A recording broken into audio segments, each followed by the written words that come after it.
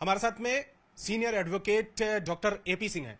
Sir सीमा हैदर को लेकर आपने राष्ट्रपति से अर्जी दाखिल की है कि नागरिकता भारतीय मिले? हमने जो याचिका लगाई है देश की महामहिम राष्ट्रपति जी का Seema Meena. Wife of Sachin Meena.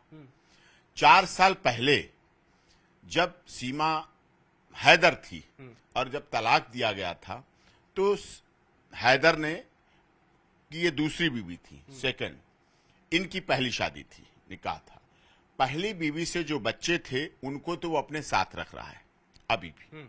दूसरी बीवी के चारों बच्चों को छोड़ रखा है तलाक दे रखा एक बात क्लियर कर दूँ। अब तीसरी बीवी उनके साथ रह रही है।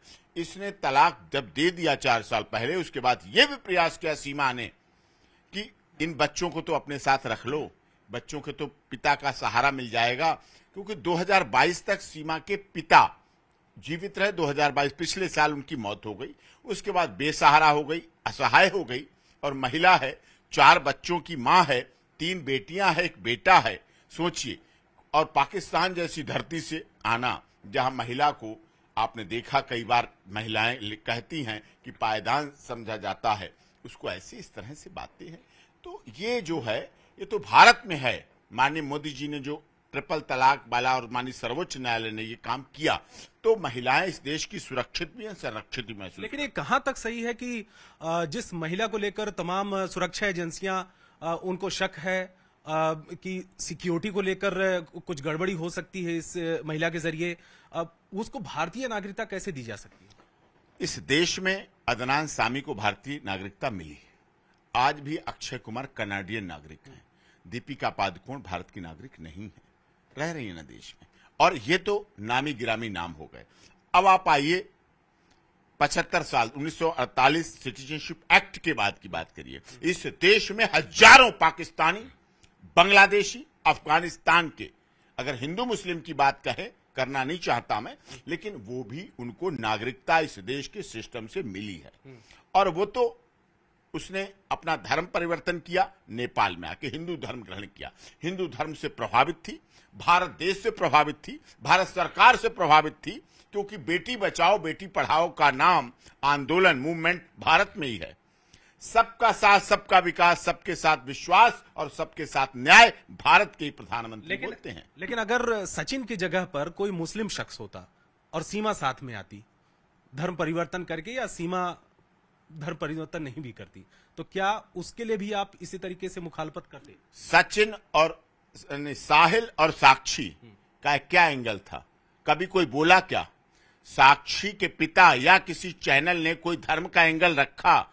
साहिल जेल में है? क्या साहिल के परिवार के साथ किसी ने बोला? नहीं बोला। बत्तीस टुकड़े करने वाली आपने वो देखा दृश्य। मुंबई की लड़की आती है। हमारे यहाँ धर्म के एंगल की बात नहीं है प्यार की बात है। यहाँ सिरी फरियाद लैला मजनू ही रांझा का इतिहास रहा है। क्या धर्म की बात है? अभी पिछले दिनों 2022 की बात है बिहार की आरती यादव अररिया की आरती यादव और छोटू यादव की प्रेम कहानी सबने देखी।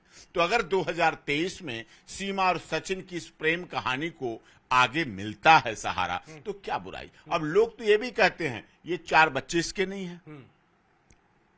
उम्र को लेकर भी तो सवाल खड़े उम्र को लेकर भी सवाल हाँ। देखिए महिलाओं की आदत उम्र के बारे में तो मैं कह दूँ हाँ। मुझे बहुत अच्छा अनुभव है। महिलाएँ अपनी उम्र कभी सीधी सही नहीं बताती। ये तो पुरुष है जो अपनी उम्र बताता है। सात आठ साल?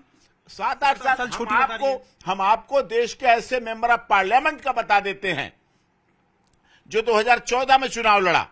और 2019 में दोबारा चुनाव लड़ा। और जो उम्र भरी गई एफिडेविट में तो 2014 वाली 19 में भरी गई। पाँच साल का गैप।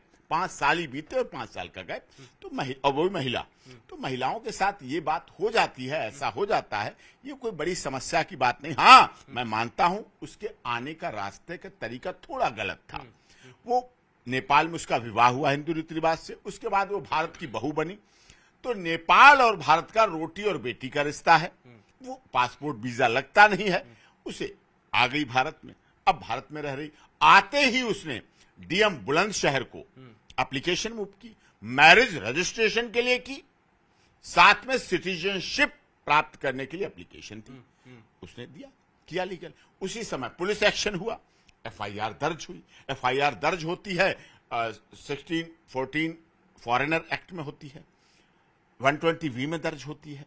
उसको पुलिस कस्टडी में भेजा गया उसको जुडिशियल कस्टडी में जेल भेजा गया उसके बाद अनरेबल कोर्ट उसे बेल देती है। केवल सीमा को नहीं सचिन को भी बेल देती लेकिन है आप मानते नहीं? ससुर को भी बेल देती है। आप नहीं मानते कि इस तरीके से ट्रेंड बन जाएगा कि कोई भी पाकिस्तानी आएगा और इसके बाद चला आएगा ट्रेन तो साहब पचहत्तर साल आज़ादी के हो गए। क्या पाकिस्तान से गोलियाँ नहीं आती? क्या पाकिस्तान से आतंकवादी नहीं आते? क्या पाकिस्तान से स्मैक गांजा चरस अपीम नहीं आती है? क्या पाकिस्तान से नकली करेंसी नहीं आती है? बताएँ आप मना करें। क्या पाकिस्तान से कांधार लेकिन उस पर कार्रवाई तो होती है सरकार की तरफ़ से। कार्रवाई होती है। हाँ।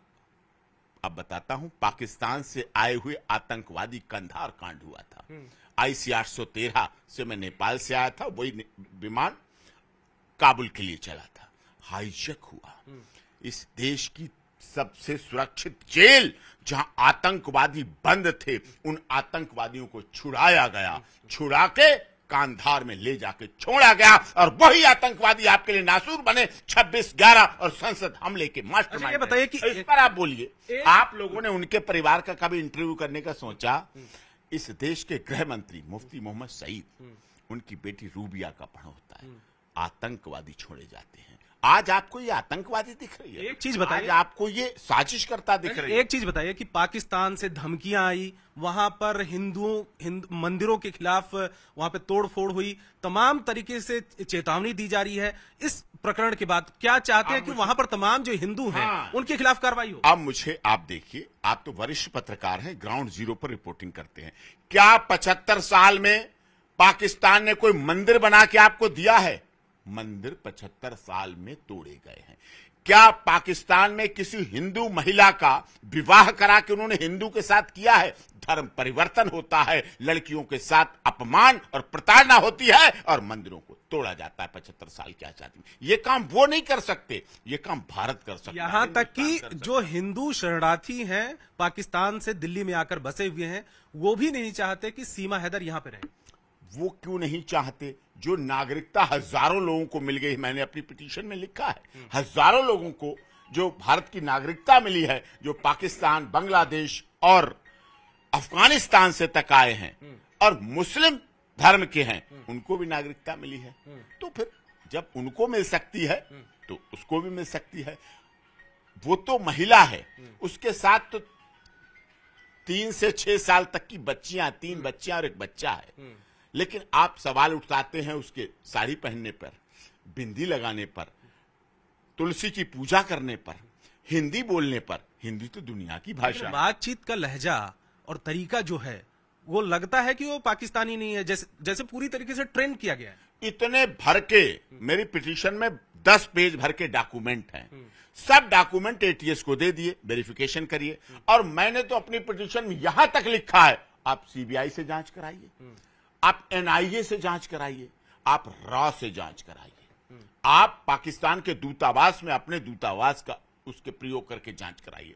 आप नेपाल के दूतावास से अपनी जाँच कराइए दुबई के दूतावास से जाँच कराइए। और इतना नहीं आप सीमा का पॉलीग्राफी टेस्ट कराइए ब्रेन मैपिंग टेस्ट कराइए लाई डिटेक्टर टेस्ट कराइए और उसके बच्चों के लिए कहा जाता है बच्चे उसके नहीं आप बच्चों का भी डीएनए कराइए। अगर ये सब कुछ सही निकले तो आप उसको। इस देश की बहू मान लेना। अगर इनमें से गलत निकलता है आप उसको जेल में रखो सजा दो जितनी अधिक से अधिक दंड दे सकते हो। वो करिए आप विश्वास रखिए। एक चीज़ बताइए सिंह साहब कि जिस महिला को लेकर अभी तमाम एजेंसियाँ जाँच कर रही हैं उस महिला को पहले ही भारतीय नागरिकता कैसे मिल सकती है? आपने अर्जी भी दे दी। मैंने संरक्षण मांगा है। हाँ। मैं उसने कहा देश की महान देश भारत है। और यहाँ जियो और जीने दो का सिद्धांत चलता है। ये पाकिस्तान में नहीं चलता है। यही बेटी बचाओ बेटी पढ़ाओ का अभियान चलता है। हमारे देश की उसने पता कितनी बड़ी बात कही कि मैंने कहा हिंदू धर्म क्यों तूने ग्रहण किया? कही आपके धर्म में जब भी पूजा पाठ हवन होता है और उसके बाद जब समाप्ति होती है तो क्या नारा देते हैं? विश्व का कल्याण हो। प्राणियों में सदभाव हो। कहीं मैं सुन के दंग रह गई। ये इतना अच्छा धर्म है जो अपने बेटे की कामना ही नहीं करता अपने बहू और नाती पोते की बात नहीं करता। ये विश्व के कल्याण की बात करता है। और हमारा पाकिस्तान आपके यहाँ आतंकवादी भेजता है। सोचिए आप। सोलह छब्बीस ग्यारह होता है। संसद हमला होता है। पुलवामा होता है। इतने बड़े बड़े कांड होते हैं। तो ये बात उसके मन में है। उसका विश्वास है कि देश की महामहिम राष्ट्रपति गरीबों दलितों शोषितों पीड़ितों मजदूरों मजलूमों की आवाज़।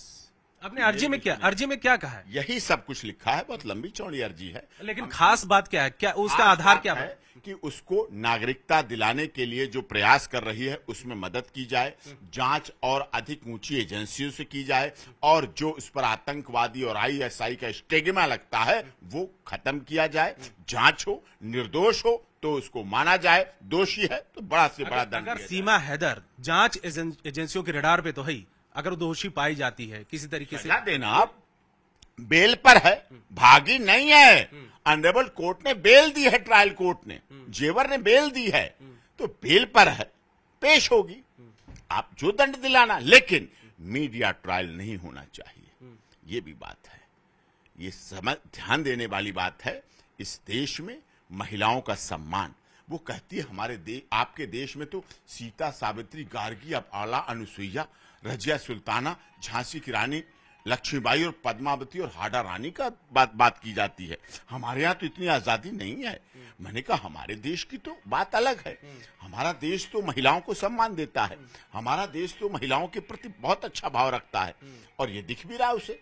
सीमा के सचिन से प्यार उसके ससुर, उसकी सास सबसे प्यार मिल रहा है, सबसे सम्मान मिल रहा है, सबसे इज़्ज़त मिल रही है और उसके लिए आवश्यक भी ये ज़रूरी है और होना चाहिए। एक चीज़ और, सीमा बहुत कम पढ़ी लिखी है, जैसा कि उसने बहुत बार इंटरव्यू में कहा कि पांचवी तक पढ़ी हूँ। तमाम चीज़ें वो बता रही है सोशल मीडिया पर एक्टिव भी हो रही है यूट्यूब चैनल की भी उसने खोल लिया है और कह रही है कि सब्सक्राइबर बने कमाई का ज़रिया हो। भारतीय और भारतीत्व की भी बात कर रही है सीता सावित्री की बात कर, कर बात रही कर रही है। इतना सारा ज्ञान ऐसा नहीं लगता कि बहुत कुछ समझाया पढ़ाया गया हो सीमा नहीं नहीं नहीं। योग्यता कभी किसी की गुलाम नहीं होती। डिग्रियाँ मिलने के लिए तो डोनेशन चाहिए होता है। कौन बच्चा किस कॉलेज किस स्कूल में पढ़ना इसका इतना बड़ा डोनेशन इतना इतना बड़ा डोनेशन। डिग्रियाँ लेने के लिए तो डोनेशन और फ़ीस देखी जाती है। योग्यता के लिए कभी ये ज़रूरी नहीं।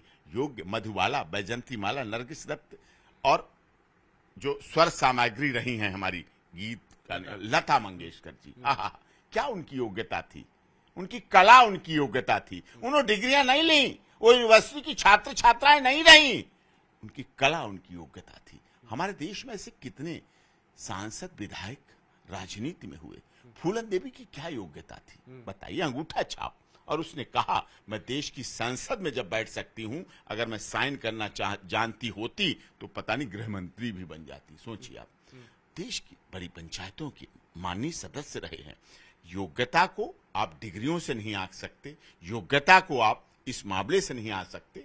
हाँ उसने प्यार किया है, उसने विश्वास किया है, उसके साथ भरोसे का खून नहीं होना चाहिए, उसको आगे भी इस बात का ध्यान रखना लोगों को पड़ेगा जो उसको बना देते हैं आतंकवादी उसको बना देते हैं आईएसआई का सदस्य। आप रॉ से जाँच कराइए एनआईए से जाँच कराइए जितना अधिक आप कर सकते हैं सब कीजिए कोई मना नहीं कर रहा है। मैं कह रहा हूँ लाई डिटेक्टर टेस्ट कराओ ब्रेन मैपिंग कराओ पॉलीग्राफी कराओ। अच्छे से अच्छे सीएफएसएल डायरेक्टर बैठा लो आप। पूरी टीम बैठा लो। वो लोग एक डायरेक्टर होते हैं पाँच सीएफएसएल की जो यूनिट होती है उनको बुलाओ।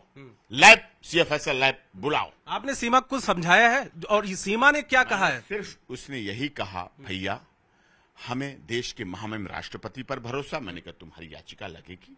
उसने कहा कि हमें देश की भारत माता पर विश्वास है गंगा पर विश्वास है तुलसी माता की पूजा करती है यहाँ की धार्मिक रीति रिवाज को मानती है। लोगों को इसमें बुरा लगता है। लोगों को हजम नहीं होती है। वो साड़ी अच्छी क्यों पहनती है?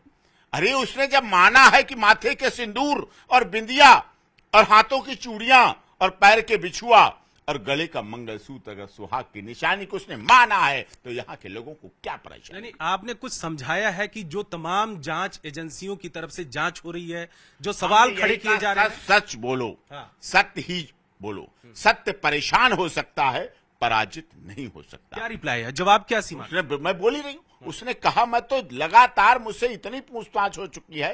अभी परसों हुई दस दस घंटे की ग्यारह। हमने सब पूछताछ करो। बच्चों को ले जाओ सबको ले जाओ जो पूछे वो बताओ। सारे डॉक्यूमेंट उसके पास हैं सारे वेरिफिकेशन चीज़ें कराओ। जो पूछे वो बताओ सब कुछ सच सच बताओ। उसने कहा जन्म से लेकर जितनी बातें हमें याद थी मैंने अब तक की सारी बता दी। मैंने कहा और भी कोई पूछे तब भी बताओ। और सही है तो बहुत स्वीकार है तो उसकी मदद करो। गलत है। इस देश में तो ऐसा तो है नहीं आतंकवादी नहीं आए। आए। लेकिन अगर वो आतंकवादी है तो सामने तो लाइए आप। आपको लगता है वो निर्दोष है इनोसेंट है? मुझे लगता है। मुझे लगता है। क्यों क्यों ऐसा? आतंकवाद करने आएगी आईएसआई की सदस्य आएगी अपने पेट से जन्म किए हुए चार चार बच्चों को नहीं लाएगी। तीन चार पाँच छह साल के बच्चों को दुधमुहे बच्चों को नहीं लाएगी। अपने सारे कागज़ लेके नहीं आएगी। अपना सब कुछ सौंप नहीं देगी एटीएस को। सदस्यता के लिए अप्लाई नहीं करेगी नागरिकता के लिए। मैरिज के लिए रजिस्ट्रेशन के लिए बुलंदशहर कोर्ट नहीं जाएगी। नहीं जाएगी। अरे साहब अब इतना भी मत करो। प्यार में युद्ध में राजनीति में थोड़ी बहुत अगर कोई कमी भी हो जाती है तो इतना तो समझ लो इतना तो चल जाता है ना प्यार में युद्ध में राजनीति में। अगर ये ना चले तो प्यार अंधा क्यों कहा गया? प्यार की पूरी सपोर्ट में आप। प्यार मैं नहीं सपोर्ट में देश प्यार की धरती रहा है। अब क्या मैंने लैला मजनू सीरी फरियाद और ही राजा को देखा नहीं? इसको भी छोड़ दें। अरे साहब ये मिसाल बनेगी। इसमें लिखा जाएगा, आपका भी लिखा जाएगा, चैनल भी लिखा जाएगा, आपकी वरिष्ठता के आधार पर भी लिखा जाएगा कि आपने भी उसमें अपनी हिस्सेदारी को निभाया, अपने काम को किया। और सब कुछ होना चाहिए और माननीय देश के महामहिम राष्ट्रपति जी सबकी है, सबका अधिकार है, सबके लिए काम करती हैं तो सबके लिए होना चाहिए। सबका साथ, सबका विकास, उसमें तो लिखा ही नहीं है, बेटी का विकास नहीं तीन, चार, पाँच साल के बच्चों का विकास नहीं। सबका साथ, सबका विकास, सबका विश्वास, सबके साथ न्याय। उसमें तो लिखे नहीं, हिंदू, मुस्लिम का विकास, हिंदू हिंदू का विकास। नहीं, मोदी जी तो पूरी दुनिया के लिए काम करते हैं। One earth, one family, one future किसने कहा? ये वसुधैव कुटुम्बकम का नारा देने वाला ही कह सकता है, जिसने आज से बरसों पहले वसुधैव कुटुम्बकम का नारा दे दिया और आज फिर दुनिया को 2023 में दिखा दिया कि जी ट्वेंटी सम्मेलन की क्षमता अगर देश का प्रधानमंत्री मोदी रखता है तो वन अर्थ, वन फैमिली और वन फ्यूचर की संकल्पना भी रखता है।